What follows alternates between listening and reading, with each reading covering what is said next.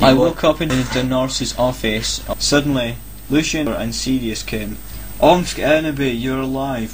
What the fuck happened? Enemy, you were almost shot, but the bully could not kill you since you were from another time. Omg, I can't believe Vampire's dad shot you.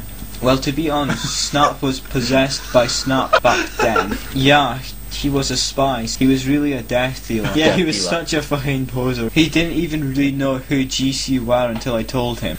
He has anyone fucking seen Draco. No, Draco told me he would be watching Hose of Wax. he doesn't know that you're better. Anyway, the nurse said you could get up. Come on. I left the hospital's wings with Bloody Mary, Willow and Vampire. I gasped.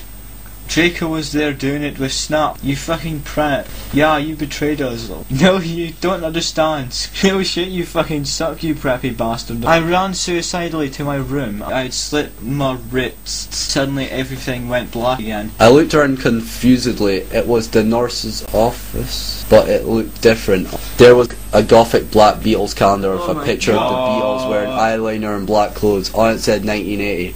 OMFG, I'm back in Tim again. OMFG, Annabelle, are you okay? Yeah, I'm okay for your information. OMG, am I dead? No, you're not dead. You're a vampire, so you can't die from a bullet. Suddenly, I saw a totally sexy gothic bi guy. Who the fuck is that? This is Hedwig! He used to be in Black Tears, but he had to drop out because he broke his arm. He used to be my boyfriend, but we broke up. I led him to the Great Hall. Lucian of James because he had tried to shoot him. Go fuck yourself, you fucking douche. Draco is never going to be friends with Vampire now. I knew he was lying. Me plan was working out great. Now I could make Voldemort good without doing it with him. Okay, Satan and Hedwig, you guys can start making out. Voldemort and Hedwig start to make out sexually. Tomorrow, Sirius, Snake, and Lucian all watched because they were probably by. I knew Snape was by. But suddenly everything stopped as the door opened in and in came Dumbledore and Mr. Norris. I sat depressedly in Dumbledore's office. I've had enough of you Satanists in my school. Whatever you do, don't blame Ibony, you jerk. You fucking poser. I bet you've never heard of GC. Be quiet, you Satanist. No, you shut up, Dumbledore. If you're lucky, I'll probably send you all to Akazaban. That will teach you to copulate in the Great Hall. Suddenly, I noticed something. Marty McFly's Tim Machine. Jump in before it's too late.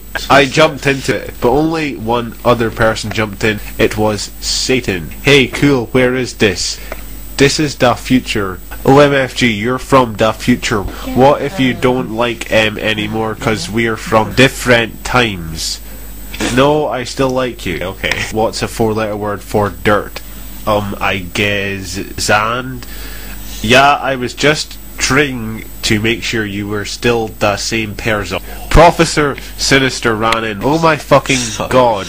Where's Draco? How did Snap get back here? I thought he was in Azerbaijan. Snape came back because that girl, Brittany, freed him. I never liked her. She was a bad student. That bitch. Did she also free Hargrid and Lupin?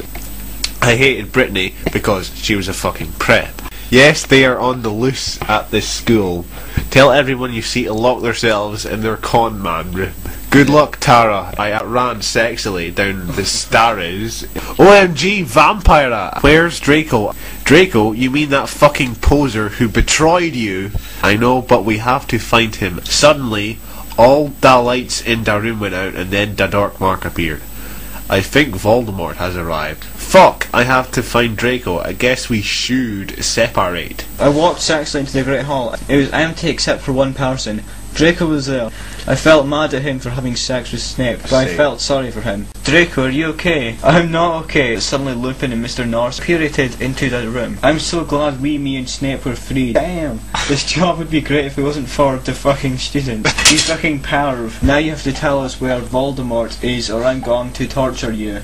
Mr. Norris ran away. I don't know where he is. Suddenly Satan and Vampire ran into the room. Oh my Satan, we were so worried about you guys. What? Suddenly, a big black car flew straight through the windows. And Snap was in it. That's my car! I shall free you, Lupin, but first you must help me kill these idiotic dunderheads.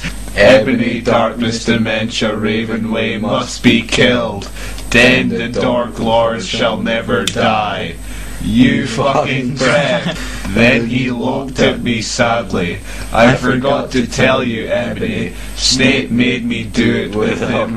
I didn't have sex with him, but he's a rapist. Satan changed into Voldemort. I knew who thou were all along. Now I shall kill thee all. Thunder came into darkness. No.